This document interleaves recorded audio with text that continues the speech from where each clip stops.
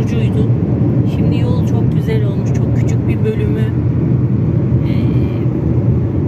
yapılmamış. Hemen asfalta çıkıyorsunuz. Duble yol. Son derece keyifli bir yolculuk. Çok güzel araziler ekilmiş. Deyim yerindeyse dağ taş ekilmiş.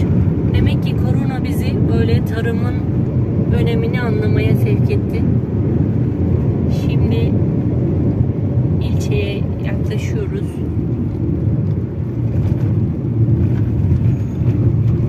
Şoförümüz biraz böyle duymasın ama Harturt kullandığı için doğal olarak ben çekimi çok iyi yapamıyorum arkadaşlar. Bağışlayın lütfen.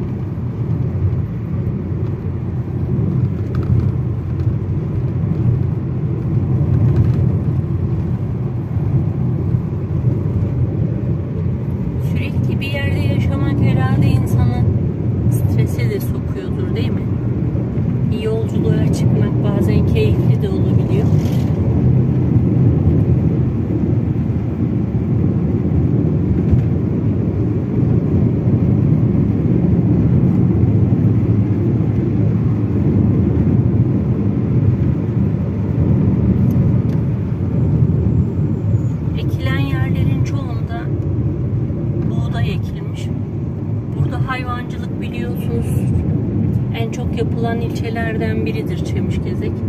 Küçükbaş hayvan yetiştirilir daha çok ve koyun ağırlıktadır. Doğal olarak onlar için saman ve kışlık erzak amaçlı buğday daha çok ekilmiş. Buğdayların çoğu da biçilmiş şu anda. İlçe biliyorsunuz dutlarıyla, dut pekmeziyle de meşhur bir ilçe. Yol güzergahında da yolu çevreleyen sağlı sollu dut ağaçlarını görmek mümkün. Muhtemelen bunlar kendiliğinden doğada olan dut ağaçları. Buraya birilerinin ektiğini düşün zannetmiyorum.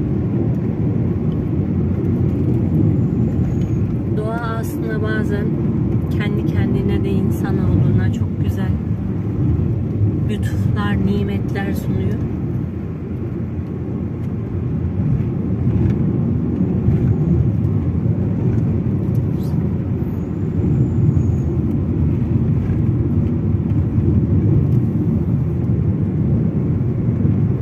Çemişgezek Tunceli'nin en uzak ilçelerinden biri. Biz geçmişte de iki defa gelmiştik. Vatandaşlarla röportajlar yapmıştık. Başkanıyla, ilçe kaymakamıyla ve vatandaşlarla röportajlarımız. O zaman çok şaşırdıklarını söylemişlerdi. Tunceli'den bir gazetenin gidip kendileriyle röportaj yapmasını, sorunlarını dinlemesini. Çünkü kendilerinin, Tuncelilerin kendilerini yani Tunceli'de genel kanının Çemişgeze'yi kendisinden görmediği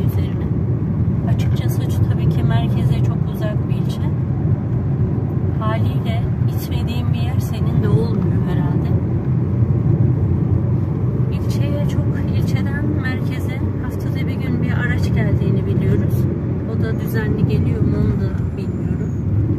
Ee, daha çok ilçenin iletişimi Elazığ'la.